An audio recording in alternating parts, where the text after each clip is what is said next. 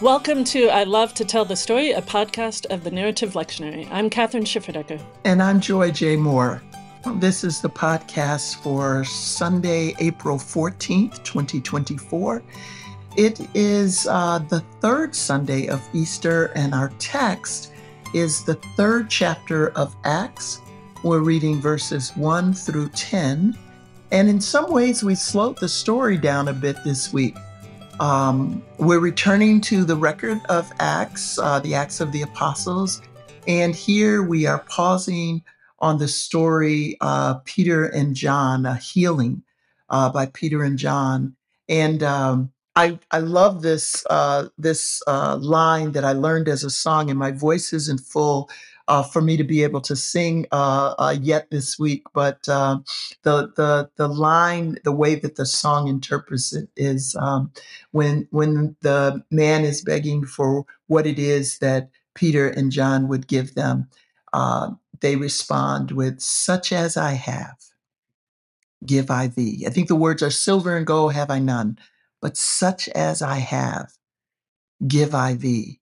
And I, I don't know, I, I just wonder as we look at this text, um, as we're reading it, if, if we might look at it in terms of what is it that because of the resurrection of Jesus, we have to offer the world. Yeah, that's a that's a great uh, kind of hook, uh, a way of of getting at the sermon.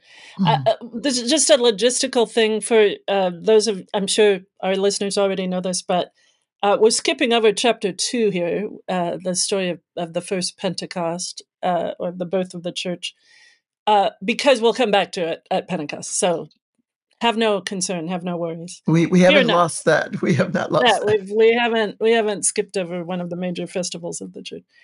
Yeah, so this, ha- but just to put this in context, right? It is after that miraculous uh, uh, mass conversion uh, of Pentecost and the speaking uh, in in tongues uh, and the you know the rush of the mighty wind, the Holy Spirit coming upon the disciples with tongues of fire. Uh, so so in this newfound power of the Holy Spirit, the the Spirit of Christ, um, uh, Peter and John heal as Jesus healed.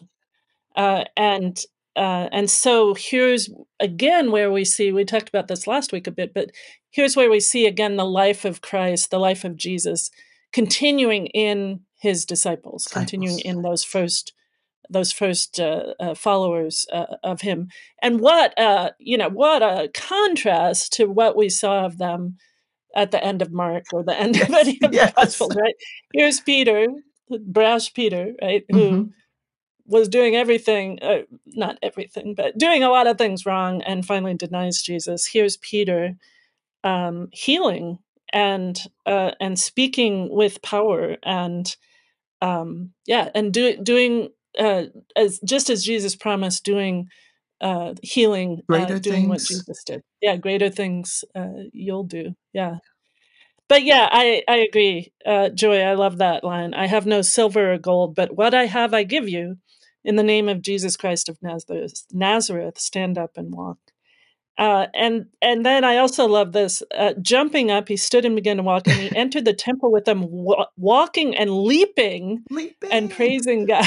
I love that. Yes, yes. I, uh, you know, in my little that image. little Lutheran church, uh, I don't see people leaping uh, too often, but there's just such joy in this uh, that yes. is, is really beautiful, and we see right the the the life of the resurrection the resurrection life, life. right that that inhabits um that first easter uh, right uh story right. and then in pentecost uh, now begins that journey out to uh to heal and to give life uh, and to give joy to uh, to those who are in need well, these are this is one of those surprising acts of the Holy Spirit you talked about last week in the in the yeah. sense yeah. that, you know, the lame, um, the disease, the sick, this is for them too. Yes, it is. Yeah, yeah, yeah right. You know, um, not not just giving them a little silver and gold,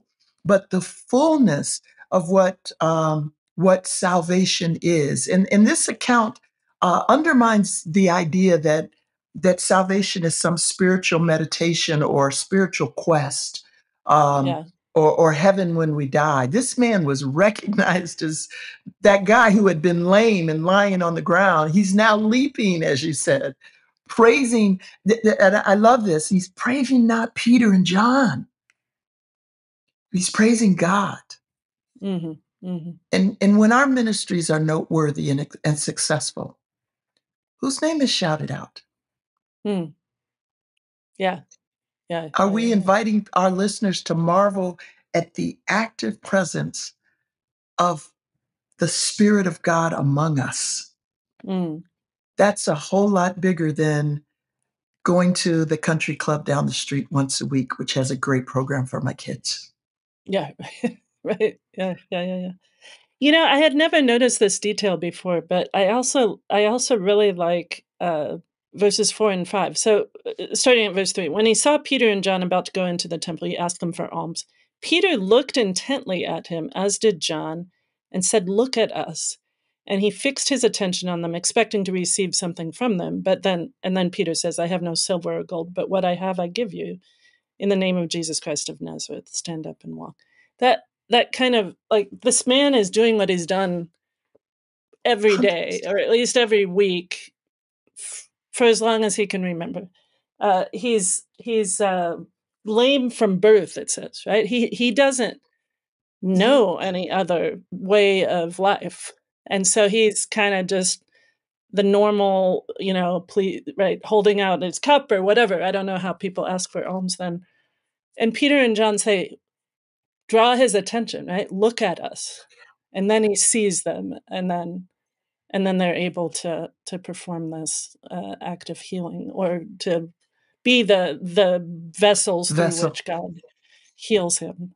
I just think that that i don't know what to make of that exactly but i i, I think it's that surprise again right? Like that um, it's an ordinary day i'm going to ask for alms i'm going to lie here in front of the temple blah blah blah and then this this you know this these two men call his attention like look I- at us oh I Go love ahead. this. I, no, I love this image that you're doing, uh, Kathryn, because you're slowing it down, which which is what I Yeah. referenced as we open. You're you're slowing it down. It's you know, it, your raising this makes me think of, you know, we get to the point where we see someone on the street, a homeless person, and we don't see them.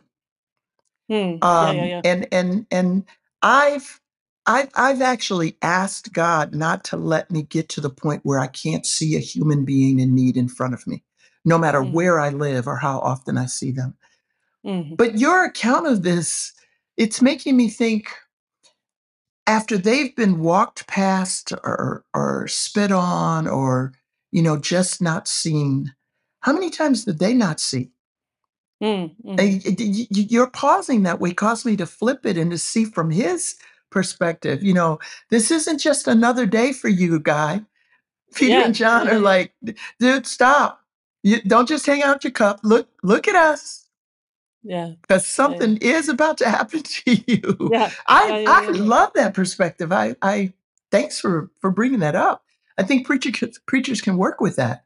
Yeah, I think so too. That and it's a it's a dual thing. Like I, I I really appreciate where you took that because it is so easy to overlook, right? You're you're sitting at the stoplight, there's a guy or woman, whatever, over here with a cardboard sign, and you, you know, uh, uh, avoid eye contact, right? Mhm.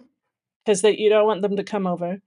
And that's it's just uh it's just a dehumanizing kind of That's what it reaction. is. right and so it you know it goes both ways so so yes recognize i, lo- I, I love your prayer right help me never help me always to recognize that human being there right That's to right. stop stop look at me yeah i see i see a child of god there Mhm. right and Mhm. then vice versa no stop and look right recognizing the humanity of each other Each other. recognizing Yeah. recognizing the face of god in each other's faces uh, is what we're called to do uh, and not just for people down and out and begging for money but uh, people we disagree with People yeah. in our family we disagree yes. with. People in our church we disagree with. Right? Recon- stop, stop, and look. Look at me.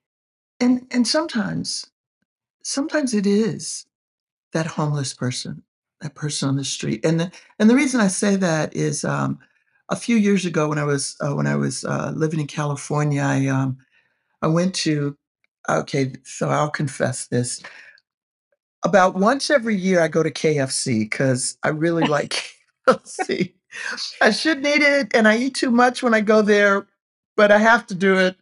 And so I was, I was, I was literally getting ready to go to church, and uh-huh. uh, I stopped. I went went to KFC, and when I went in, I saw a guy going through the garbage can, mm. and I was like, "Okay, you're going to drop a couple of dollars you might as well drop a couple of extra dollars.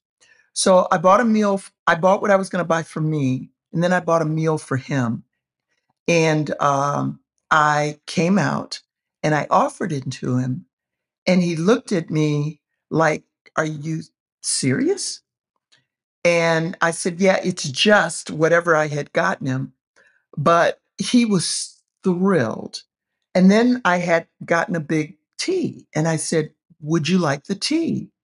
And he looked at me because I'd only bought one because I don't usually get tea. I drink coffee. And he was like, Are you kidding me?